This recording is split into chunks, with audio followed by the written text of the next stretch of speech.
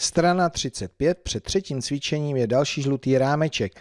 Odhad výsledků. Hm? Můžeme provádět tak, že příklad vypočítáme se zaokrouhlenými čísly nebo místo čísel v příkladu použijeme jiná blízká čísla. Odhad výsledku nám neposkytne přesný výsledek, ale údaj, který je výsledku příkladu blízký. Takže abychom věděli, kolik by to asi tak mohlo být, tak buď ta čísla zaokrouhlíme, nebo použijeme jiné blízké číslo, s kterým se asi dobře počítá, nedostaneme přesný výsledek. Ne, ne, ne, ne, ne. Ale výsledek, který se příkladu, výsledku příkladu blíží. Jo? Tak si to jdeme vyzkoušet do třetího, do třetího cvičení.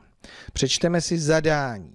Odhadněte výsledek příkladu, příklad vypočítejte a výsledek příkladu porovnejte s odhadem. Tak já bych asi ukázal tady to sčítání, tohle odčítání a zbytek nechám na vás. 37 050 plus 21 945. Tak, tady to zaokrouhlíme na tisíce, takže 37 tisíc plus 22 eh, tisíc, no, jo, nula, rovná se 50, kolik? 9. 59 tisíc. To je odhad. No a teďka přesně, tak to dáme pod sebe. 37 tisíc 50 plus 21 945 Vezmeme si něco na potržení. Tak a počítáme 5, 9, 9, 8, 5, možná, že jsem to mohl spočítat v hlavě. 58 995. Tak, ano.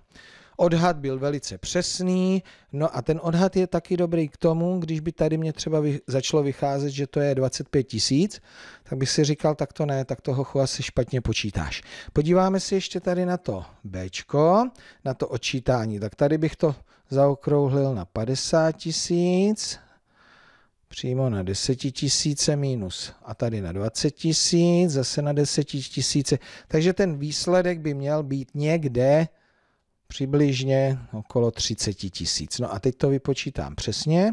49 980 minus 20 156.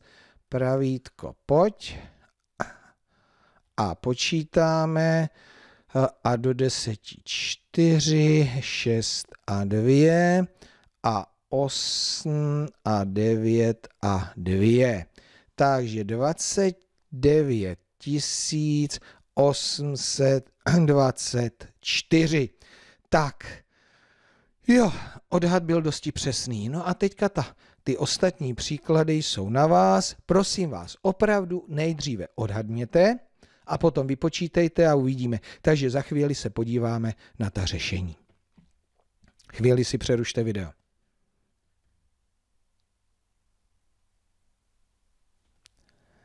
Tak jdem kontrolovat. Tak nejdřív to Ačko, tak to první jsme počítali společně a vám, tady jste to zaokrouhlili a výsledek byl 605.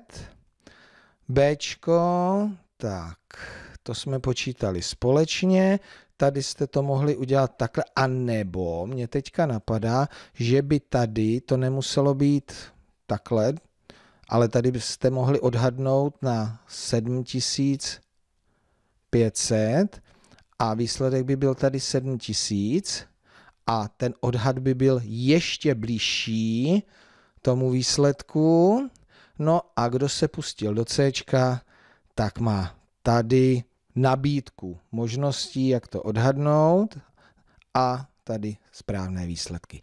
Tak fajn tak jsme začali odhadovat výsledky, porovnávat to s těmi skutečnými výsledky, no a tím si kontrolovat, jestli jsme počítali správně.